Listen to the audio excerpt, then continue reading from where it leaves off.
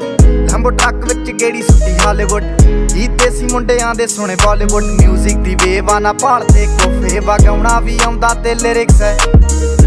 ਚੰਗੇ ਜਿਹੜੇ ਚੱਲਦੇ ਸੀ, ਕਿਸੇ ਤੋਂ ਨਾ ਠੱਲਦੇ ਸੀ, ਉਹਨਾਂ